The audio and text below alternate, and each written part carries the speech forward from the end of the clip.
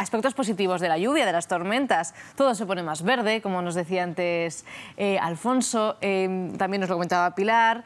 Mm, los cultivos crecen la mayoría con fuerza y los caracoles, compañera Pilar, salen a pasear. Así que hay que coger unos cuantos. Algunos hemos cogido ya, no te voy a engañar. Oye, ya tengo la bolsica, mira que te lo voy a enseñar. A ver, a ver. Un poquito lo que llevo, no sé si se ve por ahí, es que, claro, es bolsa de pan y está muy profundo, pero alguno, eh, mira alguno como ya sube y todo, hemos cogido, aunque todo ha sido gracias a la ayuda de Modesta, Modesta Martínez, que es vecina de aquí de Gea de Albarracín, que ella no para, eh, no para. Hemos estado aquí y mirando por todas estas hierbas, algunos encontramos o cómo está... Anda, ya tenemos otro. Venga, pues a la bolsa, modesta. Aunque me decía ella, que es experta en esto de recoger caracoles, eh, mira, aquí otro, otro. ¿Este lo cojo yo? Venga, vale.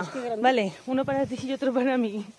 Modesta, que el, ¿cuándo es el momento ideal eh, para ir a buscar caracoles? Porque pues claro, esto de caracol, col, col, saca los cuernos al sol, mucho de cierto no tiene. No, que haya llovido por el día, vamos, que no, esté, que no esté seca la tierra.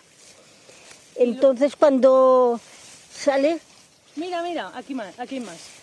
Cógelo, uh, ¿Cuántos? Tres. Y bien, gordos, además, bien gordicos. Venga, los cogemos. Y usted habitualmente sale además por la noche, ¿no? Es, es mejor por la noche. Salen más. Mejor? Porque salen más. Salen, más? salen más por la noche, entonces los coges más suavemente, no hay que ir a buscar porque salen por la tierra. Y cuéntenos cuál es la equipación que lleva, porque usted habitualmente lleva las botas de agua y qué más. Las botas de agua, unos guantes. Sí. Y... Y un palo, por lo que veo. El, candil, o sea, el... ¿Cómo se llama eso? El palo para apartar las hierbas, porque ¿sabes qué pasa? Vale, vale. Que por aquí hay mucha ortiga y las ortigas, las ortigas Modesta me dice, yo cuando veo una dejo de respirar y no me pican, pero yo eso no sé si me lo crea demasiado. A mí se me decían de pequeña en el pueblo y, no, sé si funciona, ¿eh? Pero yo llevo por las noches un, caldero, un calderico y lo lleno. Lleva un calderico también y lleva un camping gas para ir alumbrando y, ir viendo a ver dónde están los caracoles, porque bueno, hay que rebuscar bien entre los hierbas. Pues por aquí ya no hay. Venga, pues a ver, vamos a seguir avanzando. Ella dice también que por la noche salen al aquí al camino, al camino, a secarse. Pero mira, aquí otro, otro. A ver, ole. Pilar. pero están gordos este año, ¿no? Es échatelo tu bolsa. Eh, venga, este para mí. Aunque yo te le tengo que confesar una cosa, yo no, no soy mucho de comer caracoles. Ah, madre. ¿Usted cómo los cocina? Con lo buenos que están. Pues bien lavados, bien que saques bien el chichón. Hay que lavarlos muy y bien. Y luego con una salsica de tomate y cebolla. Mira, aquí hay otro. Otro por ahí. Qué buen ojo tienes. Oye, tengo que decir una cosa, ¿vale? Es que no, lo puedo soportar. O sea, no lo puedo aguantar. Algunos los habíamos colocado, pero tengo que reconocer que en este trocico, todos los que hemos encontrado estos últimos, ha sido fruto de la casualidad, ¿eh? Lo que se hace y por creo un que por aquí ¿eh? incluso vamos a encontrar... Eh, es que, claro, me dice Modesta, esta mañana no ha llovido precisamente... Y, claro, mira, mira cómo están las ortigas por aquí, Modesta. Ten cuidado. aquí hay otro.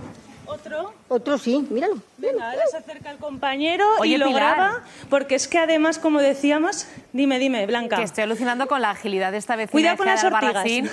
porque tiene que acabar, acabar con los riñones de tantas sentadillas. Es un esfuerzo, ¿eh? Y ella va tan ágil. Me cachis en la mar que me acaban de picar las, las ortigas. ¡Ay, pobre! Ella va muy ágil y yo aquí voy más perdida que, que perdida. Me voy a pasar por aquí porque está todo lleno de ortigas. Ten cuidado todo el mundo se está riendo ¿eh? en el control que yo les estoy escuchando. Modesta. Pobre. Aquí, ahí hay otro. Vamos a dejarlo ya, que yo creo que con esto ya tenemos para una buena merienda. Eh, sí, o, una paella. o una paella que vamos a decir solo un dato más para que veáis, Francia es el país más caracolero del mundo. ¿Esto qué significa? Que es el que más consume caracoles. Cada año 50.000 toneladas de caracoles se comen los franceses y en España algo más de 4.000. Así que bueno, el que le guste los caracoles que salga, que es la época ideal y que luego unas cuantas aguas, ¿eh? unos cuantos lavados, la salsa y a comer. Yo me voy como de esta, a ver qué receta me enseña. Que te enseño una buena receta de caracoles y una cura para ese picotazo de las ortigas, que pica mucho. Gracias, Pilar.